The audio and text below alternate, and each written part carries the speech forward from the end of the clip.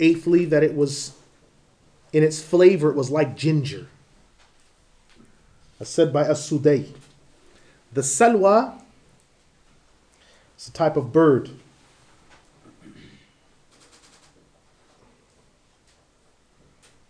And also had the honey taste.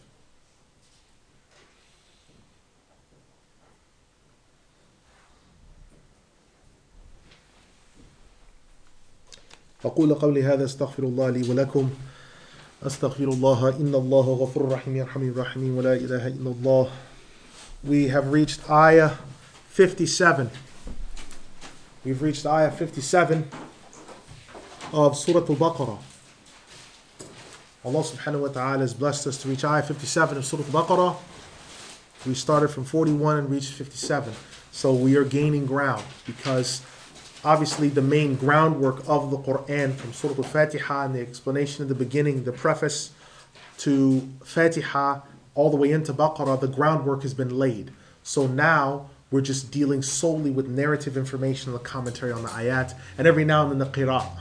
Is it, is it bari'ikum, bari'ukum, these type of things. Is there a question of what we've covered today? Yes, sister. Um, is it permissible to ask for forgiveness of sins for those that passed away? Question is Is it permitted to ask for the forgiveness of sins for those that have passed away? Alhamdulillah. The condition is, is that they are believers. As long as those people are Muslims, forgiveness of sins can be asked for them. Forgiveness of sins cannot be asked from an unbeliever because the unbeliever, their situation has been closed. And Allah subhanahu wa ta'ala has mentioned about those who are Muslims from before us that lived. He told us in Surah Al-Hashr, the 59th Surah, Ayah 10. والذين جاءوا من بعدهم يقولون ربنا اغفر لنا ولإخواننا الذين سبقونا بالإيمان ولا تجعل في ولا تجعل في قلوبنا غلا للذين آمنوا ربنا إنك رؤوف رحيم Those who came after them say, Our Lord forgive us and our brothers who preceded us in faith. And do not put any hatred in our heart towards those who believe. Lord, you are the benevolent, the most compassionate. Surah Al-Hashr, the 59th Surah, Ayah 10. It shows we can ask forgiveness for the sins of all the Muslim, believing Muslim brothers and sisters that died before. And there's also an indicative within that that shows those who believe. So those who didn't, forgiveness isn't asked for them. The proof for that is that those who don't believe aren't your brothers and sisters, even though they may be by lineage. What's the proof? Surah At-Tawbah, the 9th Surah, Ayah 11. When they believe, pray, and give the zakah, then فَإِخْوَانُكُمْ فِي الدِّينِ Then they are your brothers in faith. Prior to then, what are they? Not your brothers, they're your enemies. So that's correct. That's correct. Another question? Yes, brother. Um, I had two. Um, one was in regards to, I read somewhere when the Exodus happened uh, and, and, and the parting of the Red Sea occurred. One, I, I think it was um, Samiri forgive me if I'm wrong, but he actually saw Angel Jibreel on, uh, and a horse, like um, orchestrating the spirit. And the horse let, let some dust off, and he collected that dust. And when he got to where where they went and the, the calf was built and constructed, he blew that dust into the calf and it started speaking. So I just wanted to know the validity of that. And second of all, do you know um, it was in Mount Sinai where was it the revelation occurred for for Torah? Is that situated like in between Arabia and Egypt in that little teeth bit? And if that's the case, did they come from Cairo across into Saudi Arabia, then go up north, or did they just carry on going up north towards Palestine?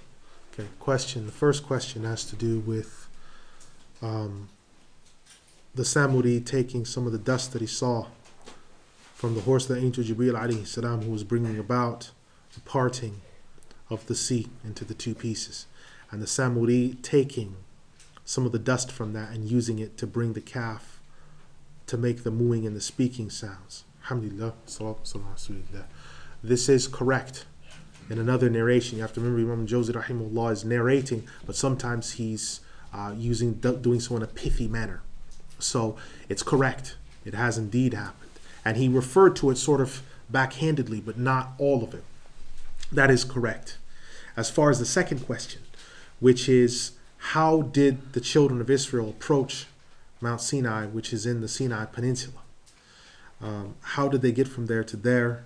Did they leave from Cairo to get there, and so on and so forth? Cairo as a city did not exist back then. Cairo was built by Al Qahir Billah, who was a Fatimi Shia uh, general in 972, if memory serves me correct. They were Fatimi, in which a lot of their masjids faced towards Karbala.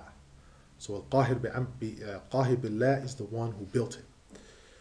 Before then, the headquarters of Ramses II, if I'm correct, um, was at Thebes. So if they left from Egypt, they would have either left from Thebes, but you have to remember, the Israelites at that time, being slaves, were told to stay in a place known as Goshen.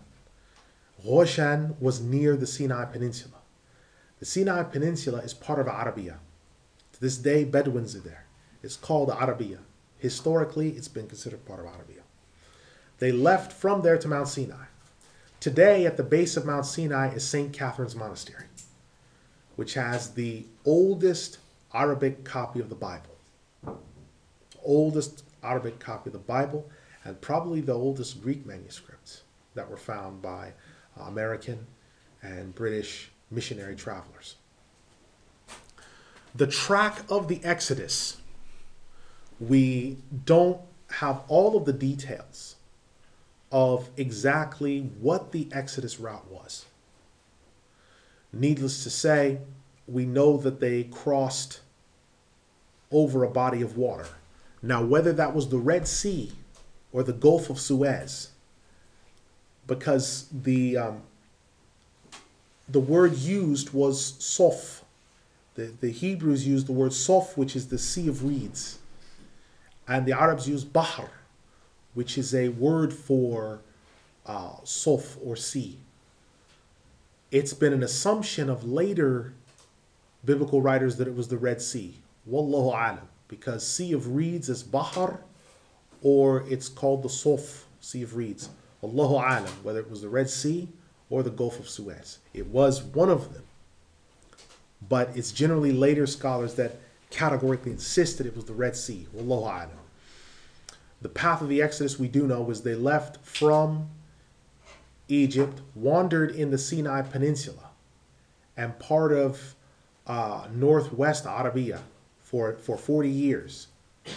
Then came into, because remember, northwest Arabia is near, that's where they ran across the Nabateans, and then they came into what was called at that time, uh, Sham was called, the section they went into Sham was called Canaan. And that was when they met the Canaaniyun what has been translated in English as Canaanites. They met those people and came into the land, and they were told by Allah subhanahu wa ta'ala, these people worship idols, they're, they're wretched, they're wicked, they have to be destroyed.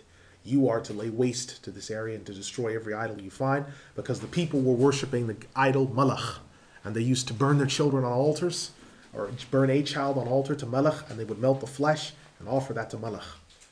So that's what we can say for the Exodus route in a general sense. But some of the specifics of uh, how they made it from which city, I mean, I may think in my mind that, okay, it's Thebes, but they were in Goshen, which was away from Thebes. Maybe they went to Thebes and came out of Thebes, or maybe they went straight from Goshen. I don't know.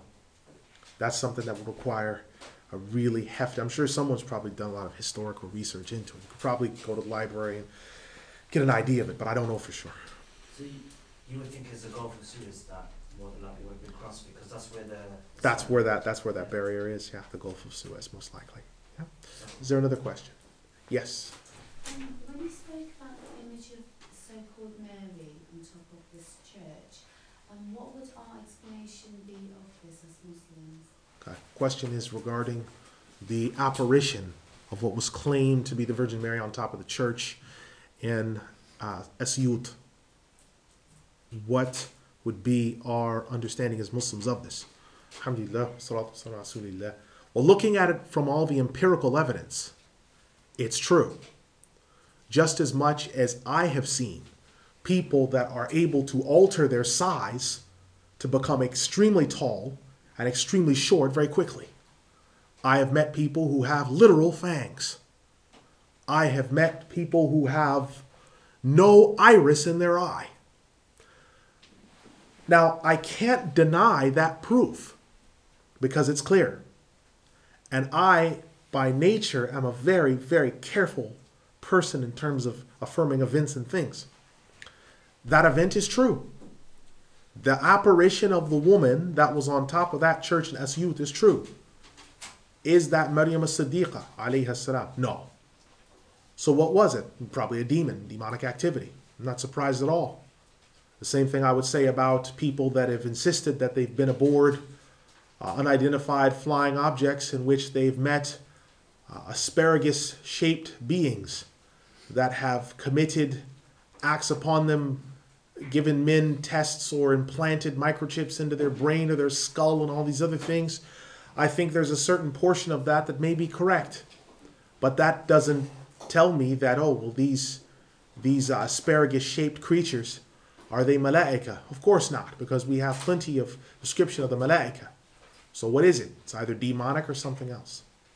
So these images, these images, the cow that was drinking a sulfur, Satya Sai Baba, who's able to transform by blowing in his hand to transform lead into gold. Right? That's true. He did that. That can be experimentally looked at and empirically examined. He did that. Bhagwan Shree Rajneesh, who declared that he was God incarnate, who actually was able to put a large spear through his heart and then remove it and still survive. That's true. That happened. That happened in Antelope, Oregon. He can definitely, he definitely did that. He's dead now from AIDS, but he he definitely did that. It's true. Uh, how do we explain it?